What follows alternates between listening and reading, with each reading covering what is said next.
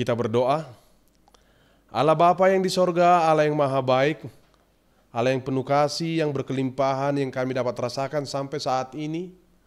Kami ya Tuhan cukup berterima kasih dan bersyukur atas segala kebaikan-Mu yang menghantarkan kami dapat tiba di hari ini. Tuhan kami akan awali aktivitas kami lewat ibadah dan firman-Mu. Biarlah roh kudus-Mu Tuhan menyertai dan tinggal diam di dalam diri kami, agar kami dapat dituntun mengerti firman-Mu. Ini doa kami Bapa, dengarkanlah hanya di dalam nama anakmu Yesus Kristus Tuhan kami kami berdoa. Amin. Shalom Bapak Ibu Saudara yang terkasih di dalam nama Tuhan kita Yesus Kristus. Firman Tuhan yang akan menyapa kita pada hari ini diambil dari kitab 1 Yohanes pasal yang kedua ayat yang kedua. Saya akan baca dan beginilah firman Tuhan. Dan ia adalah pendamaian untuk segala dosa kita. Dan bukan untuk dosa kita saja, tetapi juga untuk dosa seluruh dunia. Demikian firman Tuhan.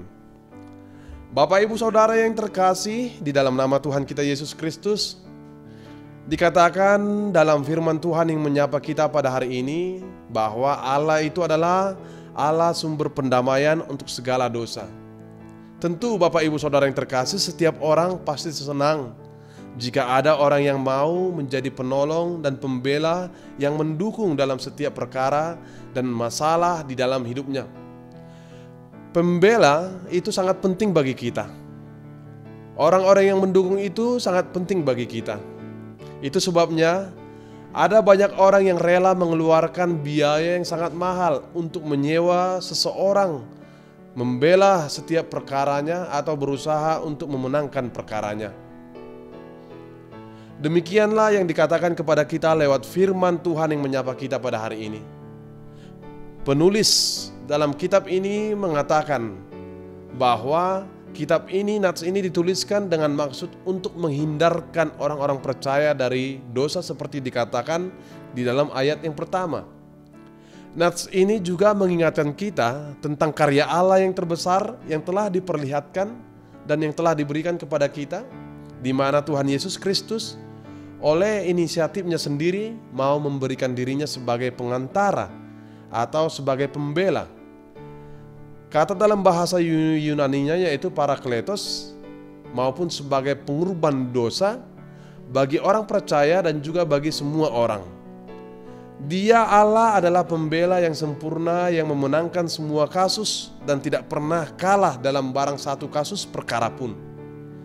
Permohonannya kepada Bapa yang di sorga sepenuhnya berhasil dan selalu mencapai tujuannya dan inilah yang diajarkan Alkitab kita agar kita semakin yakin kepada Dia.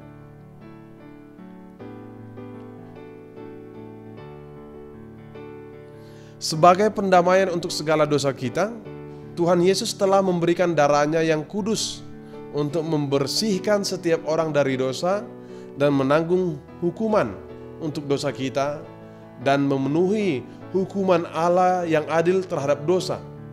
Dan oleh karena anugerah Allah yang tidak ternilai harganya, bahwa pengampunan dosa kini ditawarkan kepada semua orang di dunia ini dan diterima oleh banyak jiwa yang dibuktikan dengan berbalik kepada Tuhan Yesus melalui pertobatan dan hidup baru. Bapak, ibu, saudara yang terkasih, kita tahu persis bahwa dosa adalah sebuah fakta yang terjadi di dalam hidup semua manusia, dan sudah termasuk di dalamnya orang Kristen. Tetapi ada hal yang mengembirakan bahwa bagi orang yang mau bertobat akan menerima pengampunan. Iman kita bersaksi di dalam kebenaran yang sejati mengatakan kepada kita bahwa pengorbanan dan kematian Yesus bagi kita adalah rancangan dan rencana kasih Allah yang luar biasa demi menyelamatkan kita, orang-orang yang dikasihinya. Kematian Yesus sangat berkuasa untuk menghapus semua dosa umat manusia baik dulu, baik sekarang, dan yang akan datang.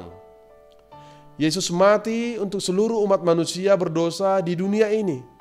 Sungguh betapa luar biasa luas, lebar, dan jauhnya cakupan daya tangkap rencana keselamatan Allah ini bagi kita dan dunia ini.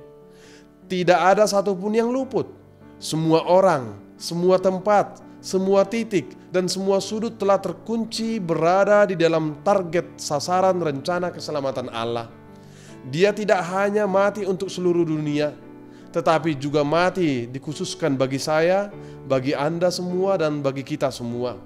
Dia adalah Allah yang benar-benar dan sungguh-sungguh mengasihi kita. Oleh karena itu, kita harus melakukan sesuatu yang penting di hadapan Allah yang dapat Allah lihat sebagai wujud sikap yang sungguh lewat firman Tuhan yang menyapa kita pada hari ini. Yang pertama yang harus kita lakukan lewat firman hari ini dikatakan bahwa mau serius memperhatikan masalah dosa. Rasul Yohanes menginginkan agar para pembaca firman ini mau dengan serius memperhatikan akan masalah dosa dan berusaha menjauhkan diri dari perbuatan dosa karena dosa dapat merusak persekutuan kita dengan Allah. Yang kedua, mau bertobat dan diperdamaikan dengan Allah. Bapak Ibu Saudara yang terkasih, pertobatan akan mengubah hubungan manusia dengan dosa dan Allah tidak menginginkan manusia melakukan dosa. Manusia jatuh ke dalam dosa karena kelemahan akan bujuk rayuan si jahat. Manusia lemah karena tidak bergantung kepada Allah dan selalu mengandalkan pikirannya dan kekuatannya sendiri. Sangat jelas dan tegas dikatakan kepada kita bahwa umat Tuhan dipanggil untuk terus membangun persekutuan yang lebih serius dengan komitmen dan terikat melekat kepada Tuhan agar dapat menemukan kekuatan untuk melawan segala keinginan berdosa. Dengan membangun persekutuan dengan Tuhan, maka kita akan mendapat menemukan kebenaran serta kekuatan dari Allah akan segala sesuatu yang kita butuhkan akan Tuhan limpahkan untuk dapat menang di hadapan Tuhan. Karena Allah berpihak kepada kita sebagai buah dari perdamaian dan pendamaian yang telah Allah perbuat dan berikan bagi kita persekutuan kita kepada Tuhan tidak akan pernah sia-sia, Bapak Ibu Saudara yang terkasih.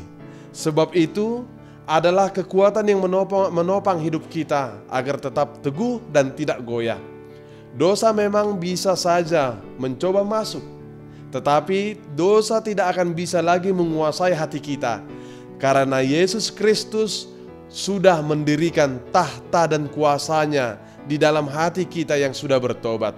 Yang ketiga yang harus kita lakukan adalah giatlah untuk terus mau mengalami hidup yang baru, diperbaharui dan menjadi pembaharu. Orang yang telah tinggal di dalam Tuhan terpanggil untuk hidup sebagaimana Tuhan Yesus Kristus hidup di dalam kita. Sehingga dengan demikian akan ada transformasi dan perubahan yang luar biasa sempurna dari Tuhan untuk mengubahkan hidup kita dengan hidup yang baru, dengan kualitas yang baru, yang benar-benar baru. Yang keempat, teguh dan percayalah kepada Tuhan Yesus sebagai pengantara dan pembela hidup kita. Dia adalah Allah yang berkuasa sebagai pengantara untuk menyampaikan segala permohonan kita kepada Allah Bapa di sorga. Dia adalah Allah yang berkuasa dan sampai saat ini terus membela hidup kita orang-orang yang percaya dan yang dikasihinya. Ini adalah jaminan bagi kita sebagai proposiasi bagi dosa-dosa kita lewat kuasa dan darahnya yang kudus. Yang kelima, mewartakan kasih Kristus kepada semua orang. Beritahukanlah kepada semua orang bahwa Yesus juga mengasihi mereka. Sebab bisa saja semua orang tidak tahu bahwa Yesus juga mati untuk mereka. Yang keenam, mau mengenal terang Allah. Artinya, mau datang mengenal terang Allah lewat pembacaan Alkitab untuk menuntun segala perkataan, perbuatan, dan perilaku kita di dalam kehendak Allah, sehingga kita didorong terus untuk bergerak menjadi pelita dan terang dan berkat bagi semua orang. Dan ada buah dan upah dari sikap kita yang sungguh ketika kita mengamini dan melakukan firman ini. Yang pertama upahnya adalah kita akan memiliki persekutuan dengan Bapa di sorga secara langsung melalui anaknya Tuhan Yesus Kristus. Yang kedua, damai sejahtera Allah akan selalu menyertai hidup kita. Yang ketiga, setiap orang yang datang kepada Allah akan beroleh sukacita dan penghiburan yang sempurna dari Allah dan dari Tuhan Yesus Kristus sebagai imam besar agung dan pembela hidup kita. Yang keempat, hidup kita akan dilayakkan, disucikan di hadapannya.